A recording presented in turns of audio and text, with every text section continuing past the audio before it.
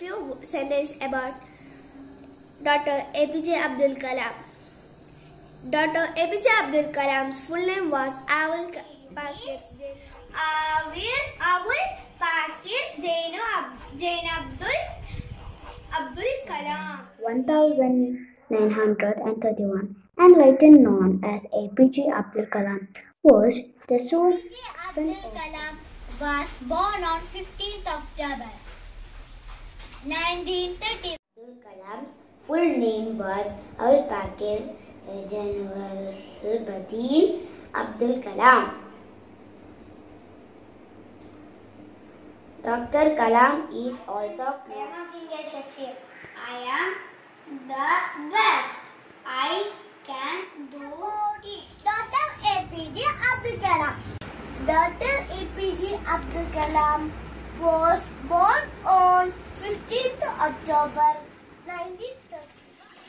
Doctor A P J Abdul Kalam. വാസൽ in Tamil Nadu. Doctor A P J Abdul Kalam full name is Avul Pakir Jainulabdeen. President of India Indian ശാസ്ത്ര നിരയിൽ മുൻനിരയിലുള്ള ആളായിരുന്നു. He was awarded Bharat Ratna. He was very hard, hard working. was a great scientist, politician, teacher, and writer. He also Abdul Kalam was honored by Padma Shri, Padma Bhushan, and Bharat Ratna. He was a very hard work student. Motiv- motivate children to take up challenges. He was Indian President from 2002.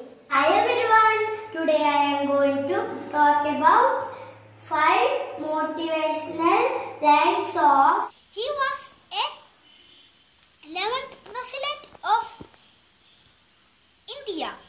He was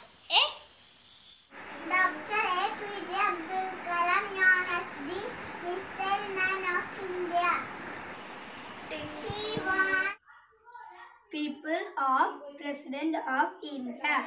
He was born 15th October 1930. Abdul Kalam ji was born in 15th October 1931.